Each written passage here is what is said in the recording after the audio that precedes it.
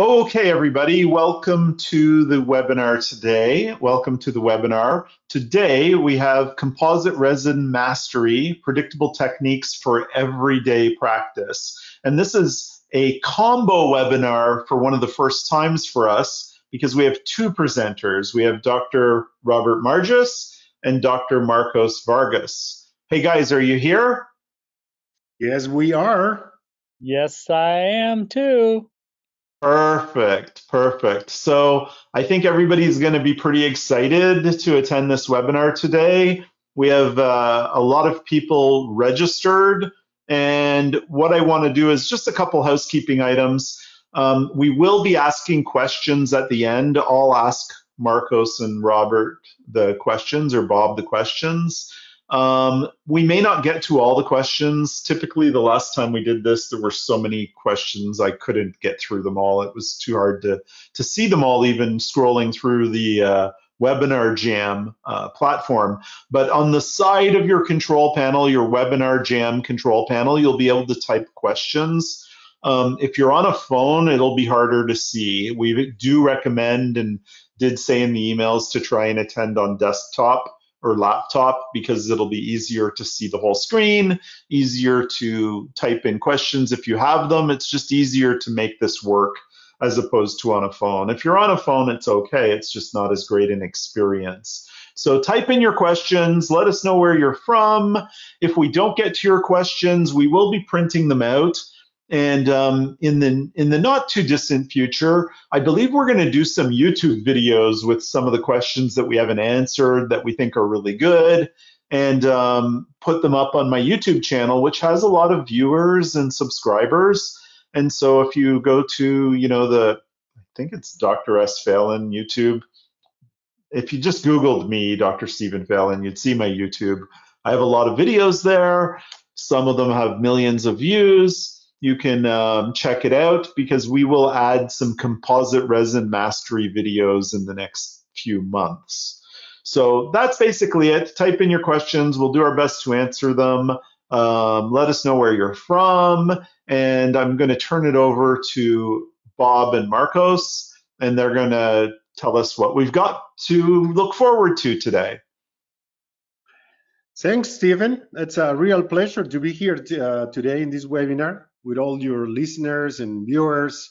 So I just want to say hello. I want to uh, pass it to you, Bob, for uh, so you can welcome our list, our viewers and listeners, please. Yeah, welcome. Uh, it's very exciting for me to be here with you, Marcos, today, to be able to show some of the things that we've been doing over the last 35 years. Um, I've always admired everything that that you have done in the past, and being able to do this course, this webinar with you is really great. Oh, I agree. You know what, Bob? Um, it's an honor and a pleasure. God, my God, Bob, you you've been a well. Let, us tell everybody the truth. Bobby's older. Uh, Bob has been my teacher. um, and Bobby's my teacher. He's my friend, and we've done a lot of work together. And I really, it's a it's a it's a privilege working together with you, Bob. That that's for sure. So thank you for allowing me this to happen too. I'm really excited.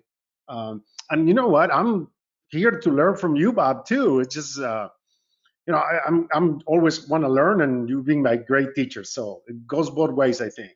Hmm. Well, I appreciate. I'm just going to put it out there that I'm the younger one here, guys. You're the one with the most hair, too.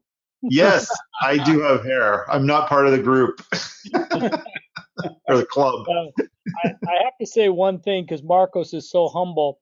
There isn't anybody that I know that is a clinician, a researcher, and a teacher all in one, like Marcos Vargas. He's in the trenches every day, like I am. Uh, he has a private practice. He teaches at the University of Iowa. He does research, and some of the early studies on dentin bonding, uh, his papers have been well read across the world, and so it's just going to be a lot of fun today. Hey, you have to you have to tell about yourself too, Bob. I you you tell about me, I'll tell about you. Bob is a great clinician, and he is there in the trenches. He has a private practice in Des Moines. He's been in practice for 30 years. You have to see his practice is beautiful. Um, the patients are so happy what he does. He's very fast. He's very good. I've been there. numerous times, watching him, learning from him, and a lot of people has done that. So Bob, I you know you are the guy there that is just in the trenches Monday to Friday. I know how you how you work your assistants and your hygiene checks and unbelievable how you can manage all that and and you know what make your patient happy, make a good living out of it, and get the satisfaction. Put your head and the pillow at night and sleep good with the work you done. So you, you don't don't sell yourself short, Bob. Okay, thank you so much. So as a matter of uh, disclosure, we want to tell you that we have uh, collaborated, advised, and received support from several dental manufacturers. And you are going to see us using different materials, different brands. There are things that I like, there are things that Bob like, but always we want to disclose. Uh, and the truth is that we are not receiving any money from any dental manufacturer for doing this webinar or for any of these or these modules we are doing. We haven't received a penny from no manufacturer. So um, today, really, we are going to talk to you about what we know, what we believe, and what we do in our practice daily you are going to see that also is part of what we teach at the University of Iowa. All the cases that you're going to see is the cases that I, Bob has done in his practice, what I've done in my practice in pretty much real time. I'm here to tell you that this is not any photoshopping. We have not altered any of the dental work. Yes, we have maybe make this images smaller. We might cut it for better uh, didactic, but again, no alteration of the dental work. As Stephen said at the beginning, uh, there you are going to type your questions, and the we're going to at the end answer as many as we can, time permitted. And overall, most important, what we really want to do with this webinar is to teach you something that can you that you can use in your practice tomorrow. For us, when I talk to Bob about this, is like when you go to a meeting and you get a little nugget of information, you it's like, oh my God, these just pay the price of admission. So that's our goal. That's what we want to do. We want to give you as many tips as we can for you to use in your practice for your better dentistry and to make your patients happier and healthier. So the objectives uh, for today, what we'll be doing in this webinar, is going to be, we're going to start by discussing a freehand diastema closure technique. That's one of the, that's one of the things we want to do. We're going to show you some slides and we're going to discuss with Bob back and forth how we did this type of uh, uh, work in our practice. We're also going to talk to you about how we how we charge for this and discuss the, some of the codes that we might use. We're going to talk a little bit about managing white spot lesions on anterior teeth. Probably you have several patients that might come to your practice and come with white spots.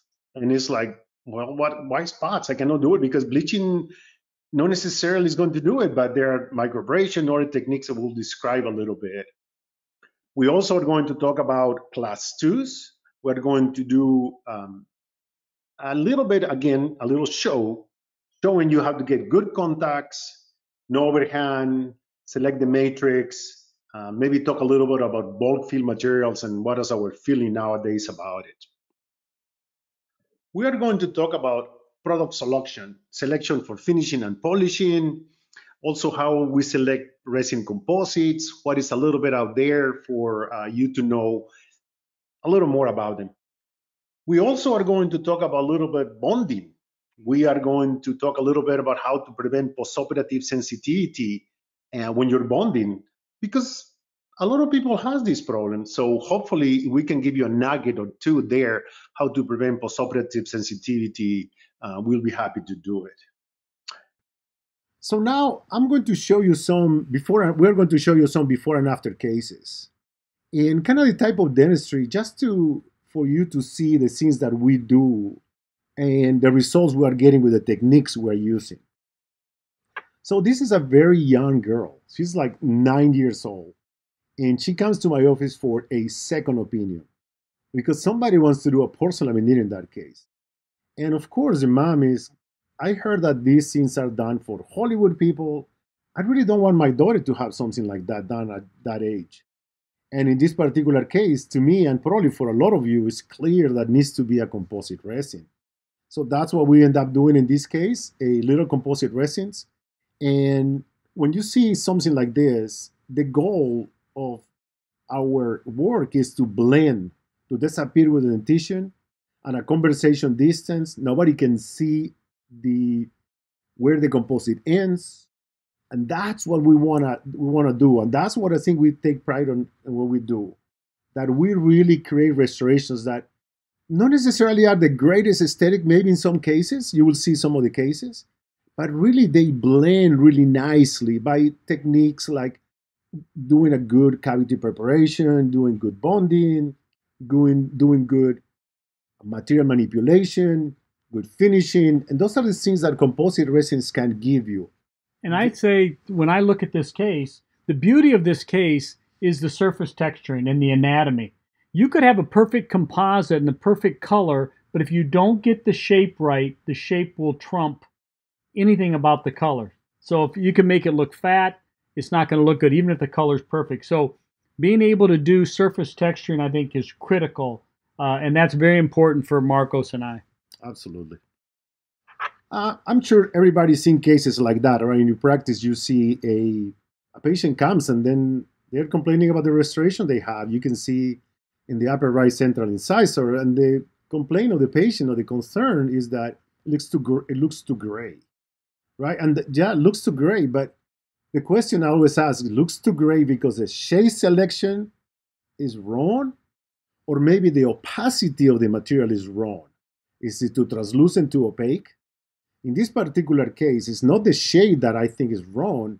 What I think is wrong is the opacity of the material that I was used. So that's very important to understand too that shade is part of the equation. And like Bob mentioned, shape is the other part of the equation, but the opacity of the material is the, the next part of the equation that we need to figure it out when we do it. And when you're using a composite from one manufacturer and it says A1 and the other one says A1 from another one, those A1s may be different. And we're going to try to show you how we do shade selection. When do you use a dentin shade? When do you use a body shade, a universal shade, an enamel shade? Because this right here is about technique and material selection. So how we solve that case? Well, we solved it by again getting a good shade selection and getting a the opacity of the material that is going to blend really nicely by getting good contact, good anatomy, good surface texture, and these restorations kind of blend into the structure and blends in the mouth and blends in the smile. And that's again the goal for these cases.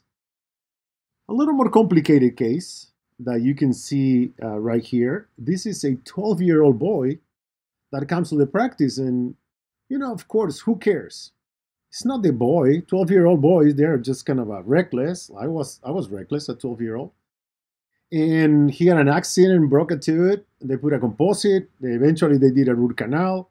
The tooth turned dark. And what am i thinking? Am i thinking a crown? Am i thinking porcelain veneer? Well, again, the age of the patient dictates to me a lot what I'm going to do. I don't want to start with a crown at this age because I don't want to start the clock. I want to, you know, push, push, push, delay, delay, delay the treatment. So, for this particular uh, case, what we did is we did some internal bleaching, right? Then we did some external bleaching because kind of with these cases you kind of play a little bit with the internal and external at the same time to get a nice even shade once you get the cervical area to match the cervical of the adjacent tooth then we replace the old restoration with resin composite and again you might say well looks good yes it's a, it's a combination again of a cavity preparation of a shade selection opacity selection layering and contouring and finishing that allows you to have a result like this so, Marcos, when you look at this case, do you do the internal bleaching yourself, or do you send it to an endodontist, or do you have any uh, tricks to say, or do you do like a cotton pellet? Or do you use sodium perborate? I will do these cases personally. My, I do myself. I like to do them. You know, after the root canal, I have a very good endodontist. They do the root canal. They seal the entrance, and we know when we talk about the case what is going to be restoratively, what we are going to do. They put a barrier at the level of the bone, and then I'm going to internally bleach it with sodium perborate. Close it two three weeks. You know, multiple appointments. Sometimes takes depends on the tooth, and then comes back once I start doing the external bleaching then I will go with the restoration. That's kind of the way we would like to work these cases. Uh, just to another case, this is a case that the tooth is dark underneath, it's coming dark, and um, yeah, you can say, well, I'm going to put a porcelain veneer and put it a crown. Again, young patients, you can see. So what I want to do is direct resins, right? Like when you look at this case, it's a good case. Maybe it's slightly opaque when you compare with the lateral uh, you might see a little bit imperfections of the blending of the layers of the cervical portion. You can see some of the margins up here, a little bit of the layering. But in general terms, when you are working in a conversation distance, they look pretty good. So she was quite happy with the result and unfortunately, um, she started working in the Marine Corps, and she haven't seen in years.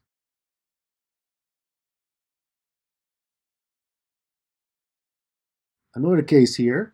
This is um, a little older in the 30s lady, and she has a case in which she is unhappy about the appearance of those restorations in the front.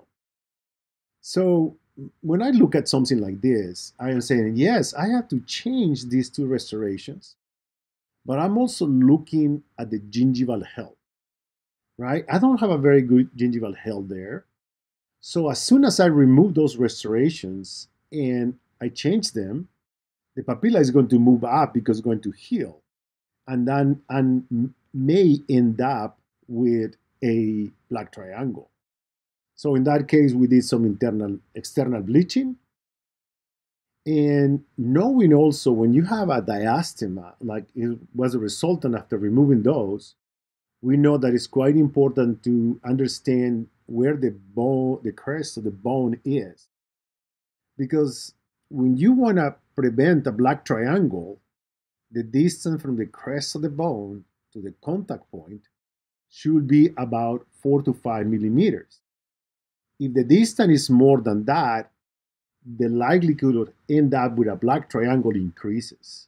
So that's quite important that when you do cases, you understand that fact of having the distance from the bone to the crest. So will you normally set your contact point four to five millimeters by looking at an X-ray and let the patient know that this may fill in? Uh, it will fill in, but it might take some time. Yes, so a case like that, I will have a radiograph made. And in the radiograph, I will make the, dis the distance, measure the distance from the crest of the bone to the incisal edge, right? And then I will measure the crest to the bone, five millimeters down, and then I measure that distance to the edge of the incisal edge, and that's going to be the length of my contact. So I prevent a uh, black triangle in that case. Black triangles, you know, people hate them. Uh, well, not everybody, but a lot of people hate it. So another maybe a little more aesthetic case in this case. This is a young lady that comes to me. She happens to be a dental assistant, and she want to improve her smile because she doesn't like those uh, lateral inside. So again, very young. Also, part of young is that she doesn't have the money to pay for maybe crowns or porcelain veneers. So I think some of those cases I will do with porcelain, you know, small just additive with porcelain. And some of these cases I'll do it with resin. But this particular case is because the finances, she decided to do uh, direct resins. So what we did in this case is to do composite build up. Now, when you did this case, did you use a wax up and maybe a lingual matrix, or do you like to freehand cases like this? I do like to do a wax up in a case like this. I think is the result is maybe more predictable and faster because I'd rather spend a little more time in the lab and less time in my chair because that's the most uh, expensive part of the, of the in the economics of the office you chair time. So I will do a wax up and I don't have to really do a mock up maybe in this particular patient because she knows that she doesn't like him. She has an idea what she wants and I understand what she wants, bigger laterals. So I don't I do a wax up so I bring the lingual shell and then I can do it much faster and allow me to get a more predictable result for her. As far as like a time, chairside time is very important because you see these beautiful cases and they don't tell you that it took all day to do this. Like for instance, like something like this, to me, you know, should be very efficient using a lingual matrix. What would you say a time would take for this? Uh, this case is about about an hour, an hour and an hour and ten. Since the patient sits in the chair, just get out of the chair. We try to make it. You have to make it efficient. If not, just there is no profit into it. That what is important, not the whole thing, but it's quite important. So about an hour or so you can do those you know with the technique with the with the matrix and everything. Um, in this in this case also it happened that um, there was a little crown lengthening. You can see a little 7 and 10 10 is not healing as good as I, we wanted it to but i've seen the patient two years later and she was uh, very good about it and, and quite happy about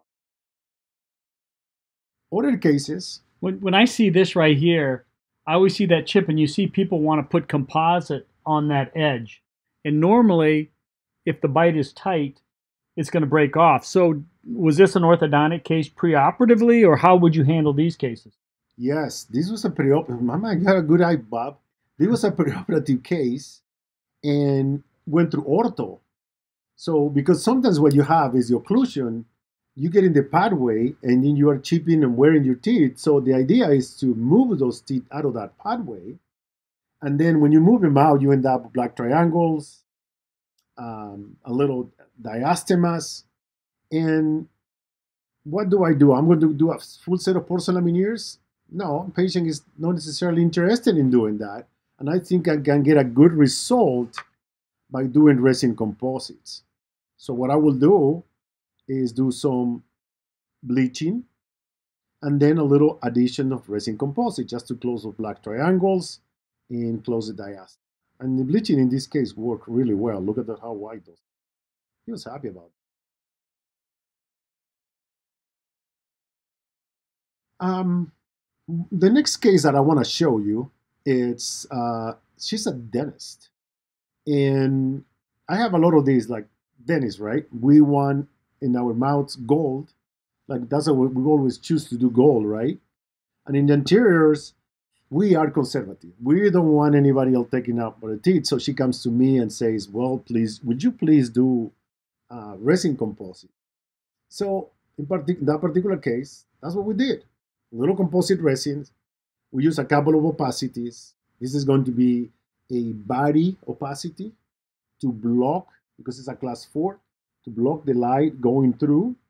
And then to create a translucency, I am going to use a enamel-like material to create the depth, so the light going in and out.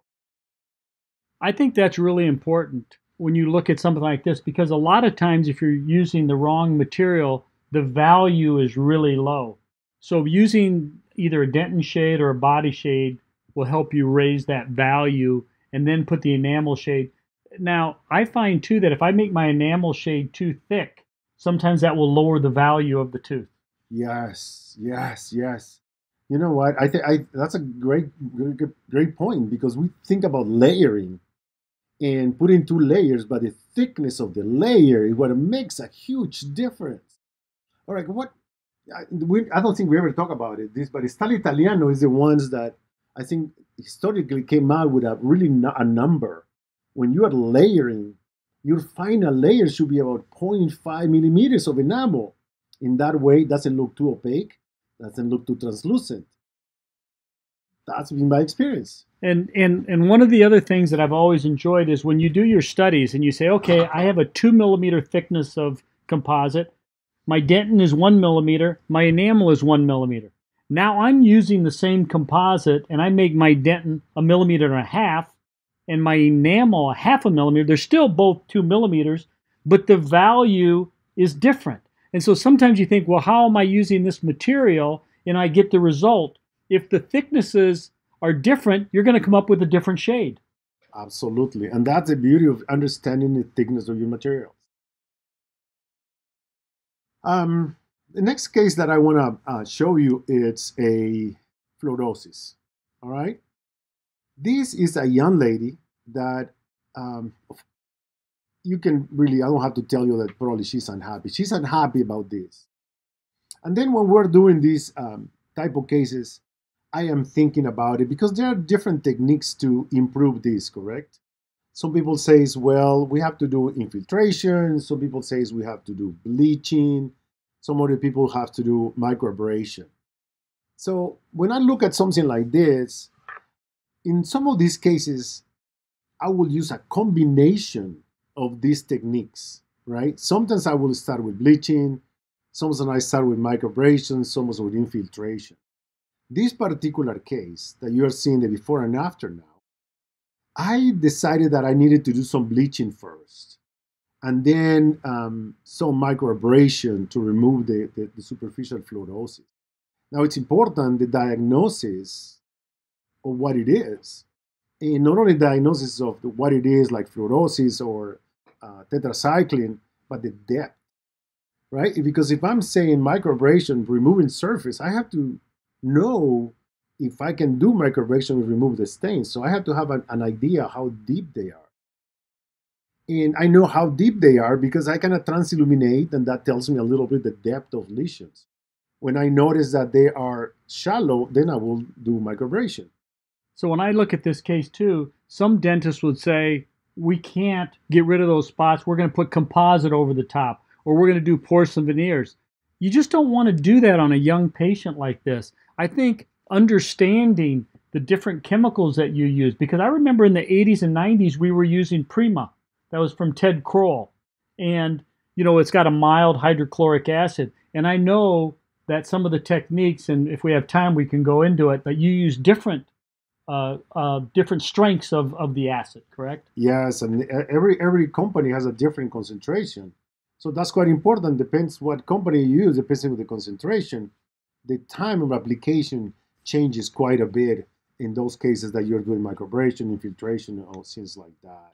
And there are already a commercially available products to do this. This to me is a case that I think I see all the time in my practice, right? So uh, she comes to me and she wants to have a better smile. And her concern is the darkness of her teeth. And she's post ortho and some of the chipping that she's had some in the past. So when I'm looking at this, I try to look at different things. Color is the concern, so I'm listening to the patient. Shade is a concern.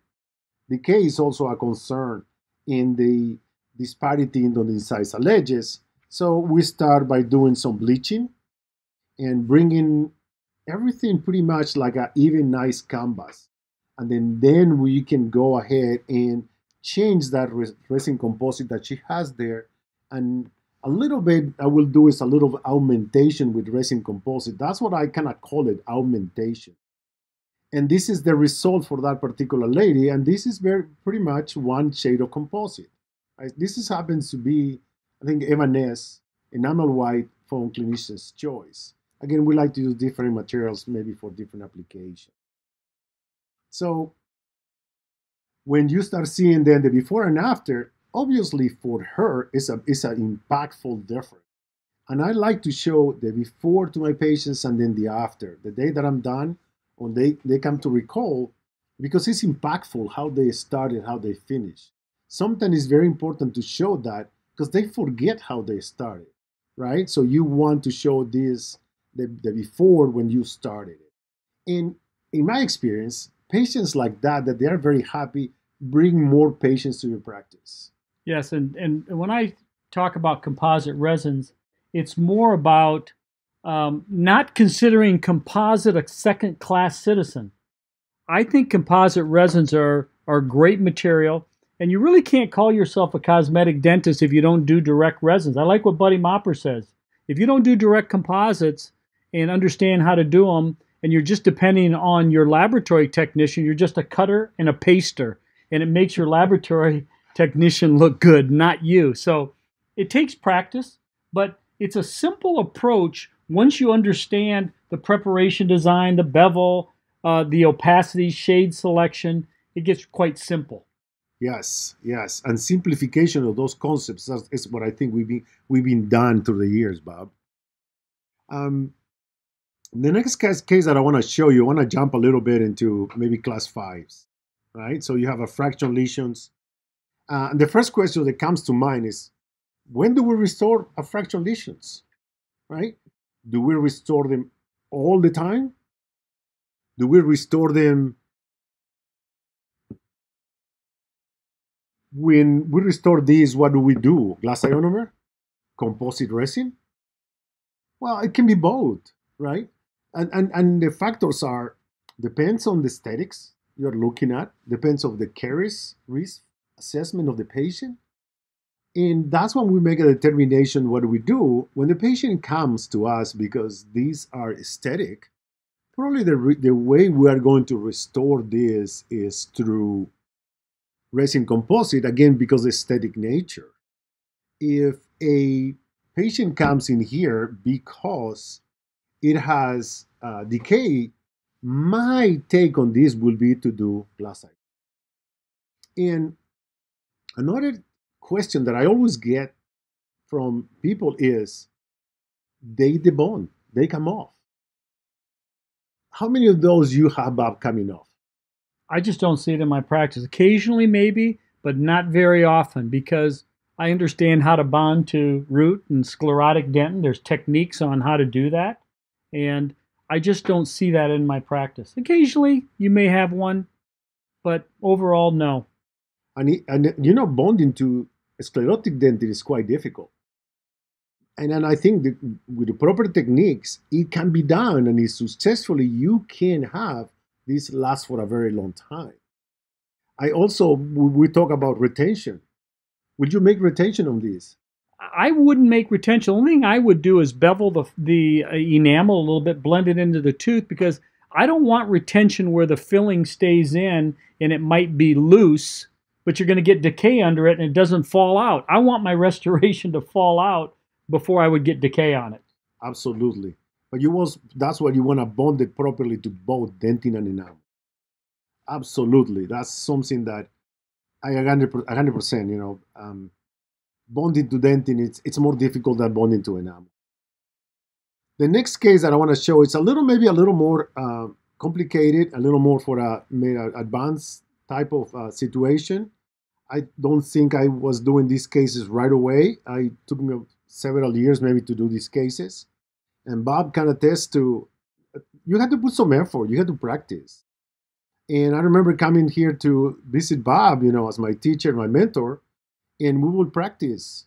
We'll practice this in, in dental forms and how to obtain this, how to simplify the technique, how to teach it. Uh, to the point that um, some of these cases, you can do it very, very efficiently. You know, in a case like this, she had those for 50 years plus, so uh, my choice maybe is do porcelain veneers. My choice also wouldn't be to have a, a, graft, cover those roots, and then porcelain veneers. I think it wouldn't been a beautiful case. But financially, she cannot afford porcelain veneers. And she tells me, well, you know what? The first set lasts me 15, 16 years. Well, I'd be happy if you do me a new set that is going to last me the same amount of time. So, okay, then we understand it's a cosmetic case. And you notice those restorations have not come off. They can, like we say, they can chip, but they will they should not come out because they are bonded to enamel, and the bonding to enamel is the best bond we have. So properly, they should not come off, and that's an example that they don't come off. I know, and, and when you look at this, composite veneer success is spelled E N A M E L, enamel. If you have enamel to bond to, you're going to have a good restoration. You may get a chip, You may get a little stain maybe once in a while if it's on dentin, but it's never going to come off. Absolutely. You notice in this case, the composite material, it's an old generation, you know, stain, a discolor, but didn't come off. So in this case, we did um, some resin veneers. For this case, she was she was happy when we were done with the case. Um, we did um, eight, eight, seven veneers, say seven or eight, eight resin veneers. And again, takes a little time to do them. I would say this case took me two and a half hours since the patient sat down in the chair and the patient left. And again, this happens to be only one single shade of composite. Because if I'm going to layer something like this, then it doesn't, I cannot afford it to layer. Because if starting to layer takes me longer time, and then I'm also start, you know, not even breaking even, but losing money. You wanna you wanna be again profitable. So it takes me two, two and a half hours to do a case like that. And patient is quite happy. When she returns, um, she's ecstatic. She's just thanking me about it for it, thanking the, the practice. And remember, she bringing donuts. And again, very happy with the result and very appreciative that I didn't tell her that she needed to have porcelain veneers because she's gone to other places that they want to do porcelain veneers. You know, when people ask me how long these things are going to last, you know, it really depends on what they do with their teeth. If they use their teeth as tools or weapons, obviously they can break or chip something. You know, when they get done with this, I tell the patient, remember, these are jewels, not tools. and I, I don't want them to be tearing things off with their teeth. But composite resins like this can last a long, long time. All right. Do you, like, one other question I always get is: Do you mouth? Do you do you do mouth guards for this? You know, normally I don't do a mouth guard, but sometimes if I'm doing a big case, I'll throw a mouth guard in there, um, just so that if they ever break something, I'll say, "Were you wearing your mouth guard?" but but it just really if they're not a grinder or a clincher, I don't think a mouth guard necessarily is important. I think that's also with composite resin some overlooked factor. It's the um, the fact that we think, oh, resin don't last. Resins do not last. And I think it's wrong. I think when you evaluate the occlusion, and the occlusion, and Steve, Stephen has a great occlusion course if you haven't seen it, but if you check the occlusion, you balance that occlusion with your anterior guidance, your uh, canine guidance, all those in working in, in group, and the, the patient doesn't have parafunction, this should last you for a long time. If I have a patient that will have parafunction, maybe resins will be my wouldn't be my choice, or resin plus a an eye guard. That will definitely be my my um, go way to go in that Longevity, we've been talking a little about longevity, and I'm going to show you a case here. Again, this is a patient unhappy about what? Unhappy about the coloration, tetracycline stain, a mild type. You can see there are some brown and gray discolorations and the diastemas, right? So she does what are concerns that she has. How do we address those concerns? There are very good literature out there telling us that we can do bleaching in tetracycline stained teeth. And after doing the uh, bleaching, we then can do a little minimal invasive with resins. And what do we do? We follow these patients for years. This happens to be 10 years after, 10, 12 years after. I think it's 10 years maybe. And they're still looking good.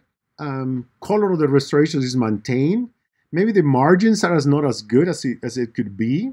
But in general terms, conversation, distance, smile, she's quite happy about it. Um, if I show you through the years, this happens to be a 15 year old case, the same 15 years later. And we are seeing, starting to see a little discoloration of the resins, still matching the opposing. But you know what? Um, with whitening toothpaste and things that people is doing, it's it's unfortunate that resins are not lasting longer because of that, because the patient tends to bleach. Then over the years, she started using uh, white strips over the counter, right, without me knowing, because I would have tell her, the white strips are going to change the color of your teeth, but they are not going to change the color of the restorations. So that's um, the photograph 18 years later that you can see there. And one time she came and this is what I saw, right? And I was like, oh my, oh my God. So why so much difference between the laterals and the canines? And you really can see that she was really bleaching those teeth with the white strips. And then I asked her, I said, oh yeah, I've been doing the white strips. They look better, don't they? And it's like, yeah, but but for her to look better. So who am I to say that there is no right? Right? When a patient comes back, you know, let's say they're coming back for their prophies and stuff. In my practice, I don't want my hygienist to use any type of prophy paste. I prefer them to use like an aluminum oxide because if they're using a, a like a fluoridated paste, it has a tendency to want to dull my composites. And I was just curious, we never really discussed. Do you want them to have prophies, and and what do you have them use? Uh, my hygienist uses the finest, finest, finest um, um, pumice that I can find, and there's company Ivoclar has very fine grit paste for these type of situations. But this takes maintenance, right? Anything that we do uh, takes a little maintenance uh, to the prophies, a patient coming back to the office. And this photograph is 25 years later, and still she's happy. She doesn't want to change it. Maybe for us as a dentist, I'd love to change it, but she's quite happy. And I and I have a 27 year photograph because she just came back. I hadn't had a chance to put him in the presentation, but 25 mm-hmm. years, it's great. Knowing you 25 years ago, that had to be a microfill, maybe Durafil or something, because when I look at that, the polishability was still good. It, it was an excellent material exactly where I was doing. How you know? I remember Durafil back then. well, because then he, you know, yeah, the Durafil, those are Durafil. Unbelievable, Bob. See, I keep learning from you, Bob. but yes, microfills tend to be like that. They self-polish. Now, we're going to start getting a little bit, um, moving away from the cases and the possibilities that I'll be doing with resin to really teach you a little more about step-by-step how to do a diastema closure. And I'm going to show you, uh, we're going to start showing you a case that um, we did. And it's a small diastema, right? When you look at this, patient was unhappy about um, the diastema. She was also unhappy about the color of her teeth. So bleaching was done. Believe me, I do a lot of bleaching. So when I'm looking at diastema closure, why do I believe are the couple of things that are going to increase my success. And one is going to be a proper shade selection, right? That's key. Shade selection, very important. At the same time, key doesn't mean spend three, four, five minutes. I can we can select a good shade in about 15 to 20 seconds. And I think it shouldn't take you any longer to do a good shade selection this happens to us. I'm sure it's happened to all of you. That you start looking at a shade and the A1 looks good. And all of a sudden the B1 looks good. And all of a sudden the B2, D2, everything just looks good, right? Because the eye gotta get tired. That's one of the things that we need to prevent. When you select a shade, be brief? And the other is opacity selection when you are doing a diastema because it's very different that you have a class 5, a class 3, or a class 4. So the opacity selection when we do is materials come nowadays as very opaque that imitate dentin. They come as enamel that imitate enamel. Some materials come in an opacity intermediate between enamel and dentin, like body. And some become very, very translucent. So why do I choose for this case? Well, depends on the width of the diastema. If the diastema is very small, as this case is a millimeter or less, or I'm adding a millimeter, my choice will be enamel because it blends really well. And you know, in the proximal area, the teeth tend to, tend to be translucent, the light goes through. What about a thicker, a wider diastema? Maybe 3 millimeters, 4 millimeters diastema, some of those big ones. Then if you do enamel by itself, it would not be good because the darkness of the mouth starts showing through that diastema. So in those cases, you might use a combination of a, a body for the back to block the light and enamel to give the depth. So those are the kind of things that we are looking when we are trying to do a um, diastema closure. So kind of the step-by-step that we do in this case is I like the rubber dam. I like to place the rubber dam pretty much, I will say 9 out of 10 cases that I do. I don't use him when the patient cannot tolerate the rubber dams, claustrophobic. Actually, this past week I had a patient that I almost had to call the 911 because he got claustrophobic with the rubber dam. So I immediately had to remove it, calm him down, and he was fine. And we ended up doing the restoration with the, without rubber dam. But not everybody um, can, can, can have the rubber dam in their mouths. So there are other techniques, Optragates, that we, we can use in these cases. So when you when you're doing this rubber dam, you know I've seen you do it, and, and I do it like like you do it could take less than like 30 seconds to put this rubber dam on. Yeah, yeah, yeah. I think I think when I talk to my, and them with my students, I say, well, you know what? There are a few things that you can do to help yourself put in a rubber dam. One is to punch the smallest hole you can find, and second one, put lubricant. And by doing that, it goes in 30 seconds. The rubber dam is done, right? So I think it's a lot of practice too. But to me, the key is the small holes in the lubricant. So also you notice I pack a ligature. You notice right here, I, I have a ligature in the upper right and uh, in the both central incisors. So what it does is inverts my rubber dam, but also my rubber dam, you notice, Bob, is pushing my papilla. So remember, I already measured how much the distance from the incisal edge to the long contact do I have to make to not end up with a black triangle. So now I can push with my rubber dam, but also pushing with the rubber dam, I have access to the cervical area to do a very good uh, uh, diastema. Next step, preparation.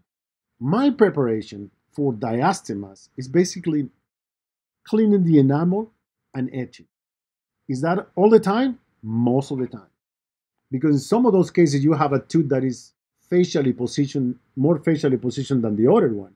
So you might maybe take a little bit here, add a little bit here, but those are kind of a little more uh, complicated diastemas. So I I use a PrepStart in my office as far as micro etching the teeth. Do you like using a PrepStart? Do you use a PrepStart? I have a PrepStart too. And I, I have the H2O, PrepStart H2O. Yep. Yeah, from that, Danville Engineering. Danville Engineers. And the beauty of that is that it's it, the H2O stands because when you are microabrading or abrading, it puts a cloud of water around the sand so you don't find sand anywhere in your office when you are doing this. But sandblasting is a great way to clean your preps, clean plaque, clean everything, biofilm and everything. And I see that you're etching because when you you over etch, obviously, because you don't know where that margin's going to stop. Correct. That, and that, uh, that's what I don't call it over etch. Yep. You know what I mean? Yeah because I'm eh, I know that I want this restoration to blend, right? That's a key. Blend, and so when it blends, to me, a key to blending is going to go from a composite that has certain thickness to a diminished thickness in the margin, kind of blend like a feather edge. So if I'm going to feather edge this, I want that feather going towards the distal to be bonded. So if it's bonded, I don't call it a flash. Yes. I call it just it's the margin. So that's what I etch way beyond what I think I'm going to take my resin. So that's what you see far. And I do them both at the same time, etching them. That's my technique. Some people likes to do one tooth first and then the other one. And there's advantages and disadvantages to both. And knowing when to use what technique or what technique you'll use, you like to use, it's key to end up with a good uh, diastema a result. So after looking um, the etching, you can see a very nice edge surface. Then the next step, I'm going to place my adhesive. Uh, I'm, I'm, in this case, I'm using a universal adhesive. Universal work really well in etch enamel and perfect case for, for something like that, just basically one adhesive. And I think the important thing to point out here is when you're placing that adhesive and you're you're you're letting it dwell for 15, 20 seconds, when you're air thinning that, I think it's really important that when you're air thinning that you don't force the adhesive down into the sulcus and have a space, you know, that can actually lock in where you can't get the composite down below the gum line. It actually forms like a little um, ledge. So you're very careful, obviously, when you're blowing this adhesive. Yeah, that's a very good point, a, a point, Bob, because that's what you don't want it to adhesive to pull. You might even before polymerization run a mylar strip because you pull it here, you will not be able to have a very good margin if you compose. A great point right there. Great, great point. So now um, I'm going to polymerize that. And after polymerization, of course, we need to say that we need to have a good light. No doubt about it. Then I'm going to start to do the diastema one tooth at a time. So I am going to do whatever I choose to do, the upper right or upper left central incisor. So I'm going to apply enough amount to build up the whole proximal surface. So I'm going to apply it um, just a strip maybe, or if I like to use tubes, I place it on the facial surface. Uh, in the next slide, you can see I'm smearing. You see how it goes from thick to thin towards the middle of the tooth? That's what I was talking about because that is going to allow the material to disappear onto the facial surface. At the same time that I'm smearing this, after I finish this, I want to roll and push this material around so I'm building the whole proximal when you're doing this, it's very important, like Bob mentioned before, you do not want to have overhangs in the cervical. Those are the worst to clean. Because you will have an overhang or excess in the facial or the lingual, that's easy to clean. The interproximal is the, is the most difficult to clean. So I make sure that I have a very good gingival margin. And then with my brush, I kind of like brushes because the brush now I'm going to brush it, push it, run it around, and smooth it. So that instrument that's going up under the gum, that's a very, very thin instrument. Do you have a favorite one you like using? This happens to be a IPC, a thin blade IPC from Cosmedent. I like it. I like that material. What do you like, Bob? Yeah, I like. I love the Cosmedent instruments. Those those long blade. I also use the REJ4 from from Clinician's Choice because it's a very thin one. The other one is like the new one, the Ninja the ninja very very very yes, thin yes. and when you're using this brush do you do you put anything on your brush or do you you know think you, you know what the, the, material that i really like you notice my brush my brush right here has a it's kind of like a resin it's resin it's not alcohol it's not bonding agent i love to use brush and sculpt from cosmedent that's a great material and but you know what i am not pushing uh, putting a coat right I'm not putting a coat. I'm priming my brush because I want the brush to glide. Yes. All right. Now, one of the things that we have not mentioned, Bob, here is what composite are we using? And believe me, there is a lot of very good composite out in the market. This happens to be Filtek Supreme Ultra enamel. And what I like of this material is that it doesn't stick to the instrument has a nice consistency that I can shape it. It doesn't slump that I have to hurry up. I can I can move it with the brush and keeps their shape. But there's other materials out there. Evanesse from Clinician's Choice is a good one too. You kind of like to um, Ivoclar's um, Tetric Prime is a nice new one. Empress. Empress Direct. But I, I tell you what, I, I love Filtek Supreme. I love Evanesse. And especially for diastema closures because it's a stiffer composite and you can do a nice pull through technique when we get to that. You'll see it's not sticky and won't stick to your band. Quite, yeah. I, I think, and you will notice the, the most of the techniques that we are going to talk to you about are techniques with materials that they are not sticky, right? Because the materials that are sticky require maybe a little different technique. So you will go ahead and will light cure, and then I want to light cure from the facial and the lingual. And pretty much I have one diastema build up. Another question that I get is the width. Bob, how do you control the width? Well, normally what I'll do is I, I measure. I use a caliper. I use the Denta gauge, you know, and I'll try to measure one and, and see how close I can get. To me, the most important thing is just making sure that it's vertical. I want it to be as symmetrical as possible, but um, you know, more importantly is the vertical. What do you? How do you do? You measure yours, or do you? What analogy do you use to try to get those shapes? I, you know what, I, I, I for a long time, I when I, I learned this technique, I will um with from Jerry Denehy, uh, he would use always calipers, you know, just the two point calipers. But then to me, one day I went to buy shoes, running shoes, right? And the the the salesman, I say, well, you know, for whatever reason, I feel like one shoe is smaller than the other one, and he says, no, you have two different size foot. Your foot, the right foot is different than your left foot. And I say, what? Kind of like, are you insulting me here? And the guy says, no. What happened is that most people has different size shoes, different size feet, and then also hands. And I look at my hands, and maybe one is smaller than the other one. I look at my ears, and one is different than the other one, different shape. And then I went to the literature in natural teeth are smaller and bigger than the other ones. So it dawned to me that why am I spending so much time trying to make it perfect size when in nature they are not the same size? Even further, you know what I did, Bob? My dental students, they will come and they will have very small diastemas, right? Maybe 0.2, 0.3 millimeter diastema. And then I will close them, just mock it up first to show them how it look at expense of one tooth. So I will look and then which one is smaller? And that's the one that I build. And I will give them the mirror and they will say, Oh, looks amazing. It looks great. They will never, ever, nobody's so far been able to tell me that I have done one instead of two, right? Because but that diastema has to be very, very small. Most important, I agree with you, has to be vertical, has to be parallel to the midline. So from there, now I had to do the second one, correct?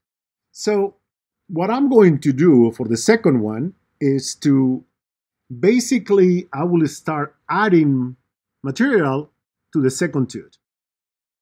In the first tooth, remember, we had the room to push the material through the lingual and fill it in.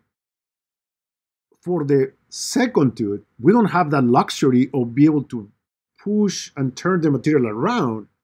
So because I know that, what I'm going to do is build just a facial shell. So again, I will do the same procedure that I've been doing, smear it, tuck it in, push it, and then I just build, bury the cervical and create a contact. Look at my contact. Remember, I had to create a lone contact. I create a lone contact. But this lone contact, right, is because I don't want to end up with a black triangle. So I place it, and, and I do light cure for only three seconds, right? After three seconds, I grab my instrument, uh, place it in between, and torque it. And I tell the patient, you are going to hear a little crack. And I torque him, they separate and separate the bone. What what happens just what happens if it does bond and you can't get the torque? What will you use? I, I would use a serrated blade, and the serrated blade, I always have to have a serrated blade, you know. Um, because sometimes that happens when you're doing multiple veneers, so it gets stuck more than what you want. I will go with a serrated blade, then place my mylar strip, and then I will light cure it. In that way, I am sure that I am not getting uh, those two stick together. What are the things you can do? Well, like we were talking before, you can do build one tooth first, finish it, so you have a very smooth surface in which the material doesn't stick to it, the second one, or if you don't want to spend the time finishing maybe the first one, you can wrap Teflon tape on the first one. So when you are doing the second one, they don't stick. All right. So by now, you you you are asking yourself probably, how do you do the final portion? Well, because I've done one diastema and the facial of the second tooth, I need to do the lingual of this second tooth. And that's what um, we call it the use the pull through technique. I will place a mylar strip. The key for this mylar strip is that the mylar strip needs to go between the rubber dam in this case and the tooth. So then from the lingual, I am filling this deficiency with composite. Okay? I push them in, and then I'm going to close the band. You can see it right here in the next uh, image coming up. That I am grabbing the mylar strip in one hand, and from the palate, I'm kind of closing, right? And then I'm pulling that matrix slowly towards the facial. And I pull it slowly because the material sticks to the band and brings the materials to the facial. Then I cannot release, I release the matrix from the lingual and let it from the from the curved surface that I had, let it get flat, and then I will really fast pull the matrix. So basically, you're using the matrix as a tool to move the composite. Therefore, that's why you don't need wedges in between here because you're allowing it to stick to the. You're going to have a contact 100% of the time. You try to put a wedge in there, you're going to have a black triangle. You do, you do. Especially you would not be able to feel that impression with a with a wedge. And that's what we I don't like wedges. It's, it's almost like when you're pulling the matrix, you're like the magician. Yes. Yes, yes, yes. The magician trick that pulls the cloth underneath the silverware or underneath the silverware and the glasses. I, I, I never tried that one. I don't know if I want to try. but that's kind of the way it works. So now I have both my uh, teeth built up and I'm kind of ready for my uh, contouring and polishing. So contouring and polishing is quite interesting. And Bob and I just published an article about a couple of months on the um, steps that we need to use to create good contour. Because this is what happened to all of us. We have a resin composite, well, nice adapted. We- We use all the techniques, good polymerization, and then we look at it. It's like doesn't look like a tooth, and sometimes we just don't know exactly what to do. So we use a divide to conquer approach to really create good looking shape restorations. So we go we'll go to different steps. We go to the length of the tooth, incisal facial line angles, uh, facial contour, line angles, embrasures, point angles, axial inclination, contour, surface texture, and final luster. By doing it this way, we use the Roman principle, the divide to conquer. I tell my students, do not look at anything but length. Once the length is correct, move to the next and the next and the next. Kind of is like, Bob, how do you eat an elephant? One small piece at a time. One bite at a time. that right. So, what am I doing here is marking my line angle in the in the in the diastema closure. Probably this is the most important part that I can tell you for them to look good. What you want to do is mark both. Where is the line angle after you build it up, and where do you want to put the line angle? So where you want to where the line angle is, you go with the side of the pencil. And when you want the line angle is you go with the tip perpendicular to the surface. So basically, you're allowing the red pencil to point where the the uh, line angle is, and the blue one is where you want it to be. Correct. So now I know that my line angles they are not proportional. So I need to grab an instrument. And some people might like to use a diamond. I like a diamond for that. Some people likes to use discs. And again, different ways to roof a house, right? So again, if you get this part really, really, really, really well, um, then you can start going with your polishing. And there is a steps of polishing. You want to go different different polishes in the market, very good ones. Optrapol is really good from um, Ivoclar. Um, Jiffy from Ultradent is really good. The other one that I really like is Kerr. Kerr. Javi Neos from Kerr, they give you a very, very nice shine. Uh, SAAP from Clinician's Choice are really good. So now when I'm looking at the adjacent when I'm looking at contour and facial contour and depressions, elevations, I want to create the elevations. So I'm painting, I want to create depressions and elevations. So I'm painting my where I want my depressions, and I will go with a diamond, right? And what is the speed? About 10,000 RPMs. That's the one that gives the most control. So basically, using your electric handpiece, turning the speed down, having high torque but low speed gives you the ability to create that surface texturing. Absolutely, absolutely. You couldn't, you cannot do this as efficiently with air driven that with um, electric hand pieces. So I really love the electric hand pieces. So you go with the fine diamond in the areas you want to do it. Um, so then after that, what is follow? Surface texture, right? Because when I look at the adjacent teeth right there, you can see the lines. So I need to create the same because the color is good, but it's not going to look as good if I don't have the shape. So I will do those.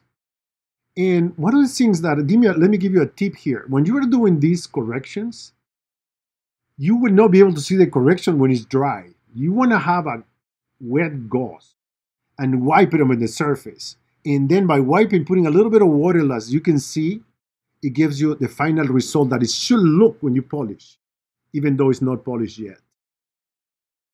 Then I continue just with a um, smaller grits. This happens to be Habeneos from Kerr.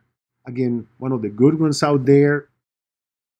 And other things that I want to do is create a final luster. I would look at the adjacent teeth, and the adjacent teeth has a finer luster and that's exactly what I want to create.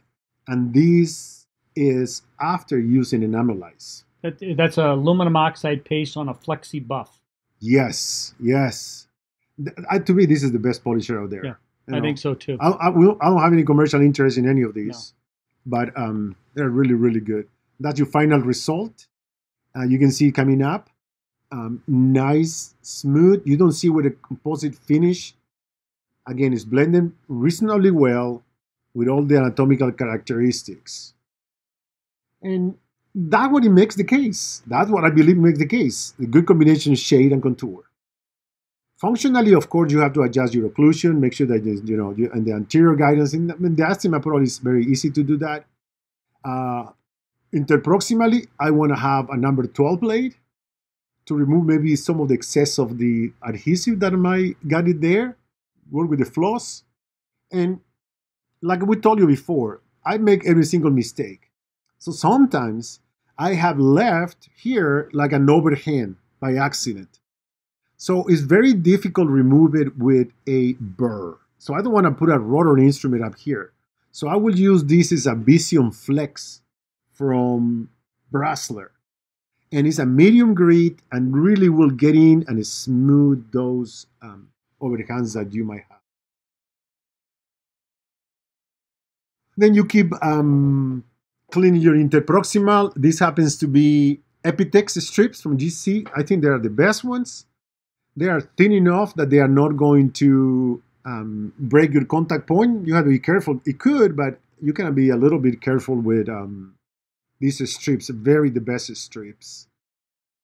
And once you done your polishing, you pretty much remove your rubber dam. Once you remove your rubber dam, this is what you want to see. You want to see uh, very nice definition. You, you can see the depressions that we place in there. We can see the surface texture. Also, look at the black triangle, right? I am end up with a black triangle, but a very little one. What happened? When I push the rubber dam, remember, I pushed it, and now it's bouncing back. It's almost like a water balloon, though. You push a water balloon or a beanbag chair, you push it up, and then when you release it, it comes back down. Absolutely right. That's a very that's a very very good analogy. And you can see the patient from the side. You can see the group. The patient comes back uh, for a recall six months later. The gingiva is healed. There is no erythema in there because the rubber dam, and she's very very happy with that um, with that result. Um, and then a higher magnification, you can see those imbrication lines that really, really imitate. You can see these imitate really well the ones of the adjacent teeth. And the beauty of this is that you don't know where the composite stops. If you closed your eyes and took an Explorer, you would know where it starts and where it stops. It blends in beautifully. Correct. And then that's the beauty of this the direct restorations versus indirect restorations. No doubt about it. And again, I know I am not going to finish with a black triangle because the distance from the crest of the bone to the contact point is four to five millimeters or less. Very important for that. So this is the after a few years. This is her. Uh, believe me, she's not concerned about any of those uh, fraction lesions, and I don't necessarily want to tell her tell her about it. And when she smiles, she has a pretty good smile, and she's quite happy about it. You can see she's happy, um, and I'm happy. Good service, and you know also, Bob, people will ask how much you charge for that. Yeah, in my practice, you know, I, I'm not that expensive. I'll I'll charge anywhere from eight hundred to a thousand dollars, depending on what I think the time is going to take. And and I think everybody says that is just way too cheap. You know, and how about you? So, what do you even charge in your practice? I charge six seven hundred per tooth. Yes. Right, because it's it's um it's a service that I provide. It, it takes time. This this one will definitely take you more time than a, than a, even a veneer. Sometimes it's, it's shorter. So that's like a 45 minute procedure, would you say? Yes. That's what it takes in I 45, 45 minutes. Yeah. Yeah. So again, 45. That's a good. That's a good profit for that. Yeah, and I'm Once- running hygienists. At And you're right. time. Yep. So am I. And so you can be profitable with composite. You don't have a laboratory bill. It's just learning how to do it and understanding and and knowing the armamentarium, and then it comes down to practice. I'll come down to practice. So um, now we're going to switch a little bit to a class two. Those are all objectives we have. I'm going to uh, go here and discuss a case. And this is a case that uh, obviously there's been repair, there's recurrent decay in the mesial. So what we want to do is to um, change that restoration. So isolation wise, again, what I said before, I like particularly rubber dam. But isolation is make sure that there is no contamination of the working area. So that's what we do. This this is like bread and butter in my practice. I mean, this is something that I I don't really enjoy doing it that much because I'm not getting a, a really great fee for it. So I have to look at it like I have to be able to put this rubber dam on, be efficient in order to be profitable. This can't take you more than 20 to 30 minutes to do a particular case like this No. because you're not getting paid if you're Delta Dental, you know, enough. So you want to be efficient. You know what? And look at the rubber dam. You know, we didn't didn't didn't mention this, right? But you know, my assistant, we, we have a very good relation, and then she will look at the chart, and you know what? There are certain patients in your practice that they wanna chat, and there's nothing wrong with that. But but I want to move. I want to do. So the rubber dam to me is good, especially the patients that like to talk. I immediately boom put the rubber dam, and they they talk, and then the rubber dam is still, but at least you can keep moving. Yes. So, yeah, a little bit about that. So, my cavity preparation, modern principles of cavity preparation. What did it say? Remove decay. In composite resin, doesn't have to have a shape by itself. The shape of the preparation is dictated by the decay, and then also dictated by how you're going to um, insert the material, how to going to restore this particular situation remove decay, but also you can see in the distal portion, eh, maybe a little flaky, a little flaky right here. It's because I'm very deep and I don't want to expose the pulp, so I'm going to leave some demineralized dentin. Yeah, it would be like, um, you know, maybe caries uh, affected versus caries infected. And and I'm with you. If I don't have sensitivity to begin with, I'm not chasing the deepest decay. I'm going to put a liner down, Theracal or or Vitrebond or a base G, you know, a glass ionomer. Yeah, a, bas- a glass ceramic calcium silicate based Theracal, things like that work really, really well for this case. And one of the things that we say is just kind of prepare for also the insertion of the material. And I like to break the contact points because I like to use sectional matrix for cases like this. And a sectional matrix over the over the Tofflemire because the shape, the, the round shape of the, the sectional matrix compared to the create a flat contour with the um, Tofflemire band. So I like to do this, you know, place a wedge, place the, the sectional matrix, the wedge, and the ring to create a good result. What I'm trying to do here is to build up the proximal. Now, some people talk about using flowable in the box. Some people cure the flowable. Some people don't cure the flowable. Some people don't use a flowable. In your experience, Do you like using a flowable, and how thick is the flowable? So you know, um, my technique and the, the research, a lot of research technique uh, talks about what is called the snowplow technique. Is injecting a flowable composite and do not polymerize in it, and then you follow with the more viscous material, and that more viscous material is going to push that flowable out, and then you can wipe it off. But how do you know how thick that flowable? I mean, does it all go away? I mean, Well, you know what? Let me tell you a story, Bob. Um, let me tell you a story about that. I um, th- that's my question, right? My question is how much flowable is there? Because you know, flowable used to be very weak. I don't want to flowable in the weaker areas. So what I did, just an experiment, is I dyed my flowable green, right? So I dyed it, put them in in a in extracted tube, in a dental form, and then I injected, did everything with the green flowable, and then removed the band as expected. And there was a faint green all the way around, meaning that it's just so little that should not affect the physical properties. What it has to do is improves adaptation. So that's what I like that.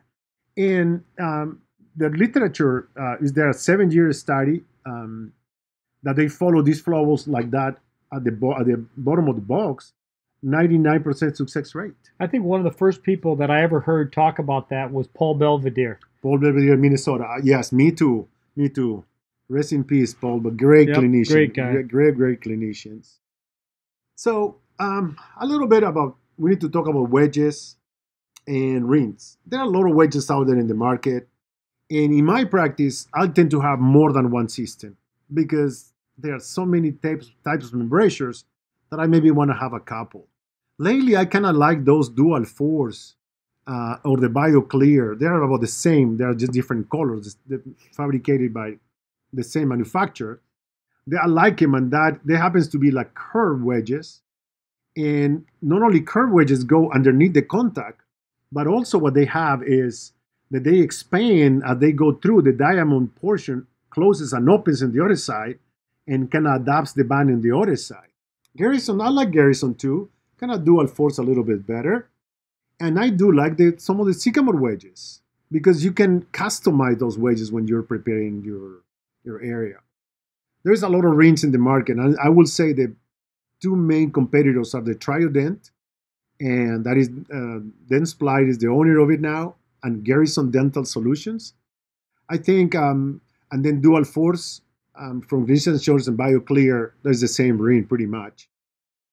I kind of like the Garrison. That's kind of kind of my, my one to go most of the time. If I can, I will immediately move to a dual force. Those are kind of my, Yeah. my way to go. I agree. You know, the just a just a little story behind this. These Bitine rings and the Palodent system was the first one that was put on the market back in the 70s by Darway Dental. And Darway had made these sectional matrices and and and, and rings for for amalgams. And what would happen is they would do the amalgam, and then when they took the band off, the amalgam would break. And so they put them back on the shelf for 10 more years, brought it back out in the 90s, late 80s, 90s, and, and, and came up with a composite sectional matrix. That's a story that I did not know until you told me about it. Yeah, very inter- very interesting. All these, you know, it's just kind of to tell you nothing is new under the sun sometimes. So I I would prefer to do a restoration like this after the wedge, the band, and the ring with a bulk fill material. I do place a flowable, put a more viscous bulk fill material, and do it in a couple of increments. Always measuring my depth because every bulk fill is different in terms of polymerization depth. What what bulk fill do you prefer? Do you have a particular one you like the best? This this happens to be the one that I use nowadays is Filtek One yeah, I think that's from good. from 3M. There's a lot of good Yeah, ones out there, yep. but I kind of like that one. It's a, it's a consistent right for me. Nothing wrong with the other ones, and you- I will keep saying consistent is key. So do you have any? Do you have multiple shades, or do you use different sh- one shade two? Because for me in my practice, I probably use A two ninety percent of the time, and maybe an A one or an A three. What do you What do you do in your practice? Bob, I use A2 all the time. You're not picking a shade guy, so A two is your go to. You know what? That's good though, because you know why? The less inventory you need. Yes. Yes. I don't want to have a lot of inventory. You know, think about it. I like to keep maybe one or two composites. Yep. Right? Yep. because I don't want to keep inventory. I Yeah. I want to keep the less, but not inventory for composite, but for everything. Yeah. One flowable or two maybe, Yep. but but not very much inventory. So the polishing that I do, I don't do a lot of anatomy. I don't put grooves. I, I put maybe slopes and grooves, but not not secondary anatomy, not stains. You don't put any stains in, like No, all those people who are lecturing show you how beautiful these are. Yeah, Oh, they, oh, um, they're beautiful. Are they practical? Uh, Not in my not not in my practice. You know, Mhm. I I cannot charge more than 250, 300 for, for a posterior You're composite, right. You're right. and the insurance doesn't pay you very much either. So Yep. that's very interesting. Very very very interesting about this. So that's kind of my um. We have the final restoration there, and we polish it to with the bristle brushes. Yep. Those are very good. I don't spend a lot of time in those. Also, the research it showed that no matter how you polish it, they are going to get a little rougher.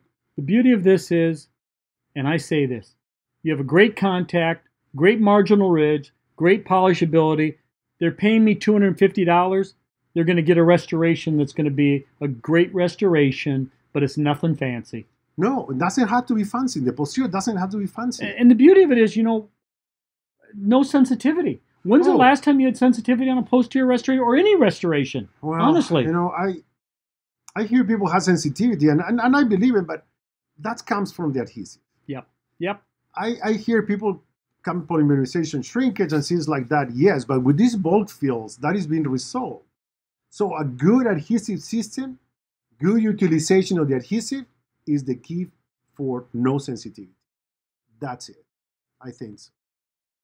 And we want to show a little last case here that I thought that was quite interesting because, you know, um, this is the dentistry that I do all the time too. I don't do fancy cases. I, my, again, I'm insurance based, but this is kind of real life to me, right? And this is what I take pride on teaching little techniques, little details. So this patient comes to the to the office, right? And look at that. He's a 80 some year old person, and he's um, health concerns, and he doesn't want to take the tooth out, and but he doesn't want to do a crown.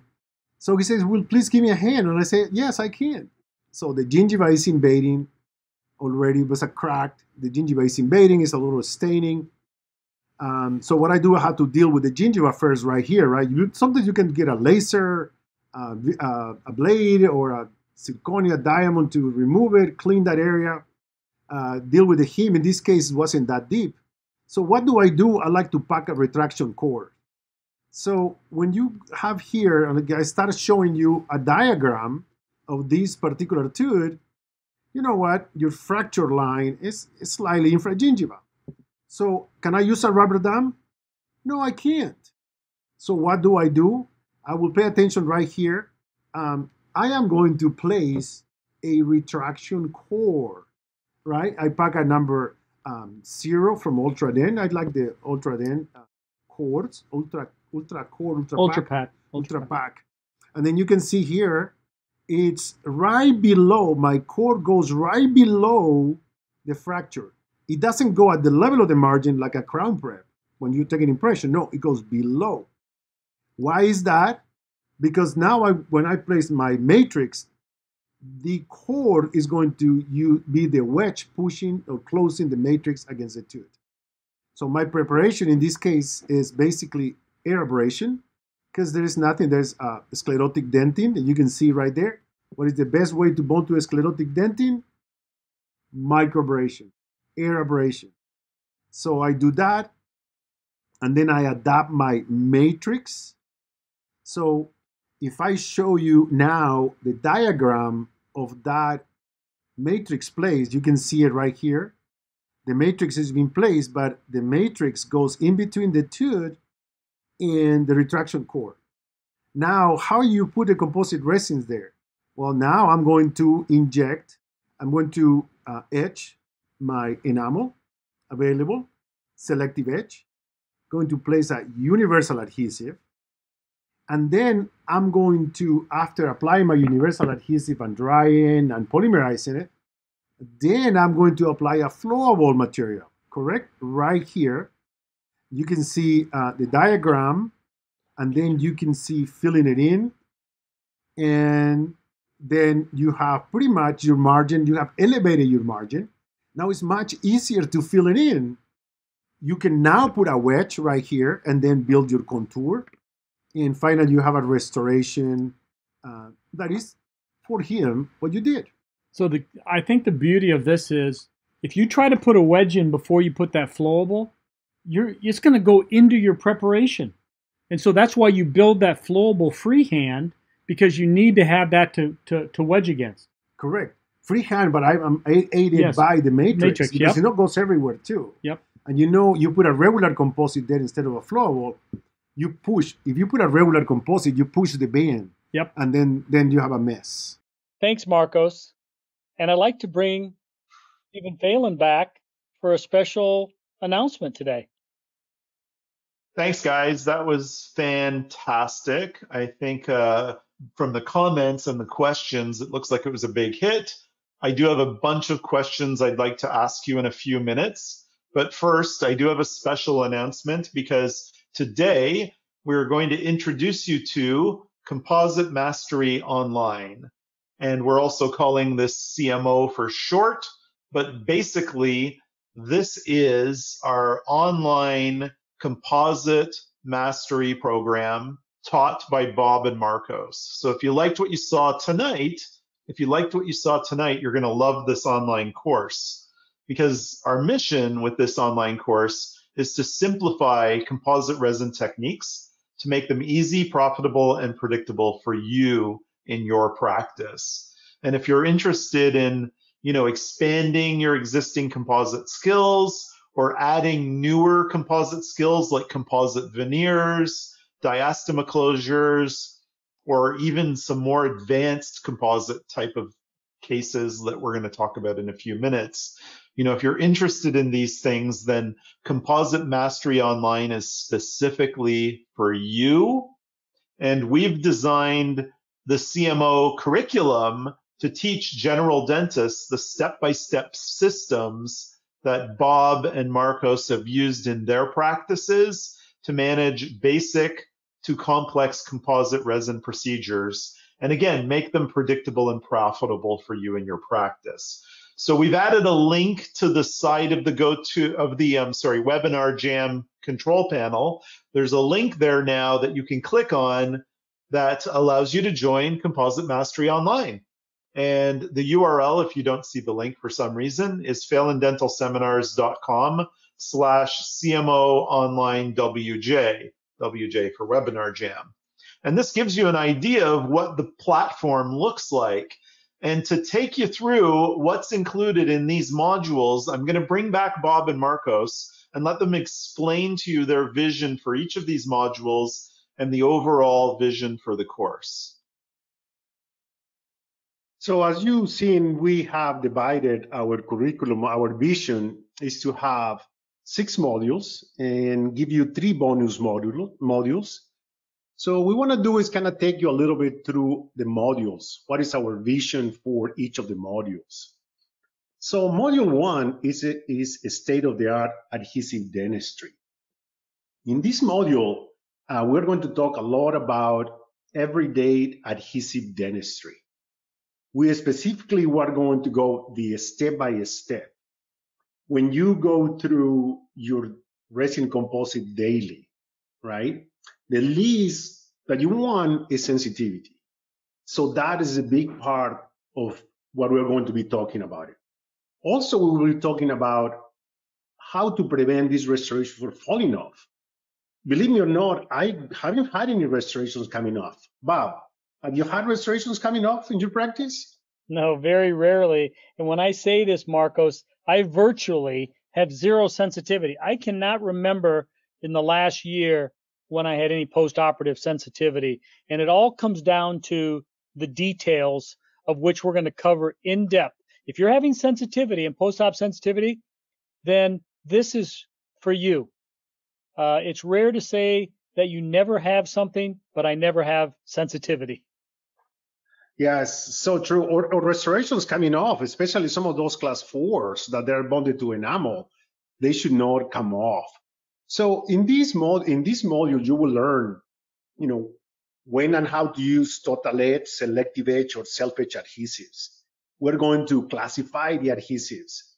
when maybe one is advantageous to use one versus the other one. What about universal adhesives? Most most people talks about them, but you know there is a place for them. There is a way to use them to get the best out of them in sense of no postoperative sensitivity and good adhesion. This is kind of the essence of this program, right? Another part that we also want to touch bases is in class fives. I think a lot of people has problems with the bonding of class fives. And I do believe they are one of the most difficult situations or to restore. But you can do class five restorations and they are not going to come off. We're going to teach you. They are going to be aesthetic too. So um, moving on to module two. In module two, we're going to talk about composite resin review and selection, instrumentation, and isolation. Yes, rubber dam, we're going to explain rubber dam. We're going to do demos in how to place the rubber dam. But do we believe that the rubber dam is not the only way to get good isolation? I do believe that a good, good isolation, it's maintain the, the field dry, free of contamination. But we are going to teach you other ways, like uh, Pandis Optra will demo it to you, uh, kind of uh, uh, help you recognize when to use uh, these different type of isolation uh, methods. We're talking about instruments. We're going to let you know about microfills, hybrids. When you use a microfill, microhybrid, what is the difference? Um, when to use these universals? Are there different systems? How are they designed? What are the manufacturer has in mind when they are trying to sell you something? Is it for is an aesthetic way to do it or is a more a functional way to do it is for layering for aesthetics or is not for layering just for one single um, shade or one single opacity bob you want to talk a little bit about what everybody's going to learn in this module yeah you know um, this module is, is going to lay the groundwork too obviously the adhesives are very important but it's still confusing for some dentists on what composite should I use? You know, we all have our favorite composites. We're going to definitely go through the ones that that we may use more than others.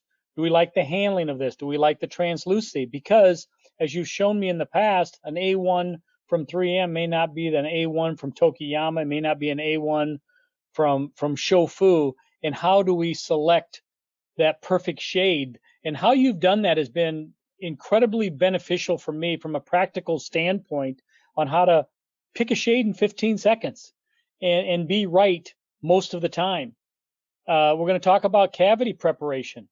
Uh, should you bevel? Should you not bevel? Should you use a chamfer? Um, you know, what do we do when we um, are trying to hide different margins? You know, we both layer and we both have used single shades. When can we use a single shade and get away with it? That'll be thoroughly discussed. The other thing that's important that we've always talked about is how to contour, finish, and polish to mimic tooth structure because you can have a perfect shade of composite, but if the shape is not right and we feel that the shape can trump the shade, your tooth isn't going to look like a natural tooth. And so we will be going in great detail and we will be using videos and showing you step by step a 10 step that that you and I have published in the Journal of Aesthetic and Restorative Dentistry on how to create the most natural looking uh, restoration. The beauty of this, Marcos, I feel too, is being able to use a visualizer and showing live demonstration as far as from a standpoint of uh, this is how it's done, what instruments work, and you do a beautiful job of using the rubber dam, of which I have picked up a lot. The beauty of us doing this course together is every time that we record the module or we have a live webinar, I'm actually learning something that I did not know. So it's it's really been a lot of fun putting this together with you. I oh my God, yes, I agree. We overall we have fun and we enjoy and you know we, we like to teach. Obviously, you know, you love to teach too. So module three, we in module three will dive in detail in the different restorations. We'll talk about class three, class four, and class five. So in this module, pretty much we are going to go the step by step We are going to bring, talk about parts from module one, module two, and put it together in this module three. So when we talk about, when we talk about a class three, we'll talk about how we select the shade for these particular, for these particular cases. How do we select the opacity? Are we going to layer? Are we not going to layer in these class threes? And then we'll do class fours and class fives. And really this is a step by step. Like Bob just said in the webinar, we'll do a hands-on demonstration of all these. We'll do, we'll, we'll do a class three, step by step. Uh, actually, the class three is one of my favorites because you might think it's a conventional class three that we like to talk about, but it goes beyond that. In my daily practice, some of the class threes that I do are pretty deep, right? So they are infragingival always to the level of the bone. Uh, some of the class four, like you've seen uh, in the webinar earlier, that we do these techniques, elevate the margins, facilitate the finishing. That's what the things that we're going to specifically demonstrate in this module. So um, again, Bob, do you want to talk a little more about this or you want to move to module four? Yeah, you know, I think that the beauty of going through all those and showing it is from a real life perspective. This is not just show and tell. This is actually teaching you and showing you how you can become profitable in your practice. Because you do one diastema closure and you learn how to do that at 800 to 1200 to 1500 dollars and do it efficiently. That's all it's going to take uh, to be able to be profitable. And so I think that's very, very important. It'll be very, very thorough. And we'll go on to module four. Uh, you know, managing the black triangles and closing diastemas. The beauty about this technique that we will show in great detail is this is a procedure that is not something that you have to be worried about insurance paying because it's an aesthetic problem and most insurances won't pay for aesthetics. And so you have the ability to charge what you are worth to do these diastema closures. And Marcos, uh, just for instance, what do you charge to, to close a midline diastema and, and approximately how long does it take you to do it? Well, kind of a little kind of depends on the size and type of the diastema, but I am charging pretty much about 600 per tooth. So I will say 1200 is my fee to close the diastema. And it's a complexity that it takes to do it, but you can do it efficiently. It takes me about half an hour to 45 minutes to close a midline diastema. Uh, sometimes what is more complex takes you in the longer time of 45 minutes, like I said. Uh, but again, you can be very profitable doing this. And one of the things that I learned through the years is the complexity and this, the difficulty of these cases is in getting a good contour. And that's what we're going to give you in this module. Um, you are going to learn what shade, how do you select the shade? uh, for these diastemas? What type of opacity are you going to use? Because again, some materials come in enamel-like materials, indenting-like materials. They come in intermediate opacity, body, translucent. We're going to teach you what type of material to select to close those diastemas. We are going to really teach you how to close black triangles. And there are different techniques. So that's part of the Hmm. what we're going to give you here is different ways to do different things. Like I always say, like I'm, I'm seeing I'm repeating myself two or three times, Bob, when you say you, there are different ways to roof a house. So some way that Bob does, Bob does it, it might know the same way I do it. But again, I think that enriches you to learn and find the most adequate technique to close a diastema, close a black triangle, and also, um, do we use composite when we use techniques? Do we heat them? Do we use them cold? When do we use um, modeling resins? How do we facilitate placement? How do we facilitate manipulation of these materials for uh, these black closing black triangles and uh, closing diastemas? Yes, because Marcos, there are times when I do use a matrix when I'm doing my black triangles, and I may heat my composite, and we will go in depth closing black triangles using, let's say, the BioClear system of, of showing how to do that um, and being able for you to show freehand techniques. We, we have numerous tips that we will be showing in great detail. In module five, we will talk about mastering direct resin composite veneers. I think we always have in our practices, and not necessarily I'm talking about the, um, you know, six or eight veneer cases that what are important, we will talk about it. But sometimes what is difficult is to match an adjacent tooth, correct? And that's more difficult than I think doing multiple veneers. Because in multiple veneers, you tend to just use one shade and pretty much everything is going to match because you are using the same composite for all of them. But sometimes what is difficult is doing that single veneer. So we'll teach you both those doing single veneers, how to do multiple veneers, how to manage your time, how to prepare, um, how to, well, from the shade selection, preparation, how much room you need for these veneers. When do you use opaquers? Do you need, you need to use tints? Yes, we're going to teach you when to use tints, opaquers. Um, at the same time, we're going to teach you how to manage to do restoration side by side. I particularly like to do them multiple at a time. And I think Bob may maybe correct if I'm wrong. You like to do it one at a time. And again, I think both ways can be very effective, but you can choose which one probably is going to be better for you. We're going to teach you also diagnostically how to look at these restorations, looking from the face in, trying to, because the goal of this is create aesthetics, smiles, right? Beautiful smile. And that's a, that's a purpose. So we'll teach you from the face, the smile, and then the teeth. How do you finish these restorations? Bob already talked about it. We have a systematic approach because sometimes you look at a restoration you've done and you say, oh my God, it just doesn't look very good, but we don't know why. And the color of the composite can be okay, but then the shape is not right. And then we look and we look and we don't exactly know what's going on. So we'll give you a step-by-step -step approach how to look at this. So not only restoration looks good from the point of view of the color, but also from the shape that Bob mentioned. It's very important. What burrs, what speed we're going to use and what polishing system we're using it uh, with this 10-step um, polishing system. You may see uh, clinicians show you a direct composite veneer, and then what they do is they don't necessarily show you how they finish and polish because that may be their secret on how they make the tooth look good. They may want to keep that to themselves. This course is for you.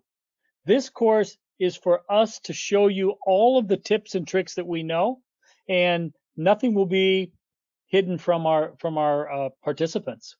I'm glad you're saying that, Bob, because you know I think you and I both take seriously that we say we are teachers. And you're a teacher. There's there's no secrets. I never keep a secret from me because this is not the nature that that what we are i think teachers. So thanks bob. In, in module six then we're going to switch to posterior right? Um, resin composing in in posteriors class twos. This is kind of a, um, a difficult area sometimes to manage creating good contacts creating good contours. Since we are going to talk about step by step of the class twos, we are going to show deep class twos. We're not going to stay with your typical um, MO Dior restoration. We're going to teach you how to do uh, multiple of this in line, you know, MO, MO, DOs, MODs. That's what we're going to talk about. It. We're also going to talk about what systems are out there. Are your Tofflemire is the one that you need to use. It's contour matrices. When do you can customize your rings to create good restorations? Um, how do you place, how you select your band? Because we know it comes as small, medium, and large, right? But there are very efficient ways to just immediately, by looking at your prep, measuring your prep, selecting your matrix. So I like to streamline these procedures, how I do it in the clinic, how I'm going to show you because again, we want to create a speed with these techniques. What systems are available, what bands are out there. Um, also, one of the things for, for a long time I had trouble doing is maybe putting back-to-back restorations. Sometimes one would be bigger than the other one, and then I'll have to and go back, and it was a nightmare. Now we develop techniques, so we will create nice contours and contacts. We'll talk about bulk fill materials. When do you use them? Are they good? Are they bad? when, when and how, that's exactly what we're going to talk about. It. What is your preparation design? What are the things that we need to do to create uh, restorations that they are sealed well and there is no white lines? How to deal with deep restorations? Because everybody has them, right? You start going with the burn, the, the radiograph hasn't shown it to you, and you end up almost to the level of the bone, and then you are like, oh my God, if I do a crown lengthening here, I just compromise the tooth periodontally. It needs to come out. Patient is young. I want to extend the life of this restoration. Well, there is a technique called deep margin elevation, and that's what we're going to teach you how to move that margin up, how to make it easier for you to end up with a good class two restoration, and of course, contouring and polishing. Yes, and Marcos, the thing the thing is, you and I know this because I've talked to you about it. Why does my associate, why did he have sensitivity with his posterior composites and I had zero? And we both use the same material, we both use the same supposed technique, yet he had 10 times the sensitivity. So we're going to go in detail how to prevent that. How do you apply the adhesive? Do we use desensitizers?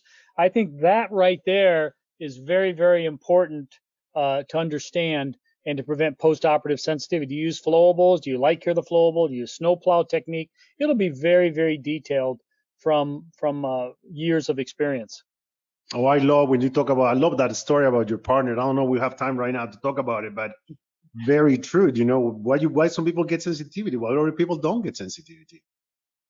Yeah. So you know those are the six modules, and and Stephen will talk a little bit more about uh, this course Okay, guys, yes, this looks like an amazing curriculum. A lot of this is already there and built. The rest is being built actively every week over the next little bit. Um, basically, the Composite Mastery online curriculum and coaching program will teach you the systems to achieve, you know, consistent results like these in your dental practice. And results like these in your dental practice. You know, they're going to break it down step by step how to achieve unbelievable results with composite resin. And again, there's been a link added to the side of this page in the Webinar Jam platform. If you need the URL, it's right here. It's just phelandentalseminars.com slash CMO online WJ. And I'll say that when we developed this, I had a large part in the curriculum development because I wanted this to be a comprehensive curriculum designed to teach you how to manage simple to more complex composite resin techniques. And I wanted it modeled off of my other programs. So, for example, occlusion design or GBR or our endo program, you know, all of these programs have similar curriculum development and they're modular based programs but they're curriculums. They're not just a random collection of videos. And they're also highly interactive coaching programs because each of these programs has a monthly coaching webinar, a webinar series, and the coaching webinars will definitely help you implement the curriculum. They'll definitely help you implement the curriculum. I'll describe more about the coaching webinars in a few minutes, but we also have the opportunity under any of the videos on the membership site to ask questions there. And Bob and Marcos will go in and answer your questions on a regular basis. So really right now you have three choices. Number one is you can do nothing, and this was nice and entertaining for you. Number two is you can learn all of this yourself, and you certainly can. And um, you can piece together ideas from different people and spend a lot of money taking a lot of different courses. Or you can take kind of the easy route uh, that I would say, the easy button, I guess you could say, and choose to work with Bob and Marcos and use their comprehensive composite resin systems and coaching to help you treat these cases in your practice. I call it the easy button because I don't think it's a big investment. And I also think that uh, having it all in one place is very beneficial and having mentors like Bob and Marcos is obviously invaluable. So what's the investment? CMO is 1997. It's 1997, but I'll tell you, we're having a webinar membership offer for being here and spending the time with us today. We're going to give you a membership offer on this webinar where you can save $500 today to join CMO. And basically, it's going to be one payment of $14.95. Or if you do want to split it up, you can do three monthly payments of 555 so 555 now, and in 30 days, another 555, and 30 days after that, another 555. So it saves you a little bit of money by uh, investing uh, 14.95 right off the bat. But if you want to spread it out, that's cool. You know, um, after the first month, if you attend the monthly webinar and watch some of the content on the membership site, you'll more than make up your ROI of 555. So you'll make up you know, so much more than that that you'll easily be able to pay for the rest of the membership. Okay, so what do other people say about Bob and Marcos? Well, here's the biggest name in dentistry, really, Dr. John Kois, and he says, Dr. Bob Margeas is a gifted practitioner and excellent teacher who provides the most practical course in direct composite resins I've ever seen. And that's Dr. Kois. And, you know, Bob teaches a composite course at the Kois Center, and that's uh, a $2,000 course and you get no videos after the course to review. So, you know, this online course is even more content than what Bob could teach at the Kois Center. And you have videos for the next year to watch and review and perfect your techniques. So this is a deal, really. And another huge name in dentistry, Dr. Newton Fahl, says that doctors Vargas and Margeas are dynamic presenters who are able to bring science into a feasible, practical clinical arena. So, you know, again, this is going to be a practical course, not a lot of, you know, huge amount of literature review and just all didactic. It's going to be very practical and something you can use in your practice immediately. And then Ed McLaren, another huge name in dentistry, Marcos Vargas is a rare individual. He's one of the best composite artists in the world, and he is an incredible educator, teaming up with Bob Margeas, who is an outstanding dentist in many areas and a very entertaining and motivational speaker, will be a unique course I would love to attend myself. And then their, their mentor, Dr. Jerry Denehy, says Vargas and Margeas a brilliant dental team, especially when you put their bald heads together. uh, and then a couple of members just wrote in recently. Uh, we've we've launched this and had a few, well, a bunch of members go through, and we closed it, and now we are relaunching it again with this webinar today. But uh, a couple of members wrote us just and told us these things. You know, Dr. Paul Branco says that the Composite Mastery online course has been one of the most practical, informative courses I have ever taken. Being in practice for 30 years, you think you have it all figured out. Then you take one of these courses and realize there are some even better ways to roof a house, as Bob would say.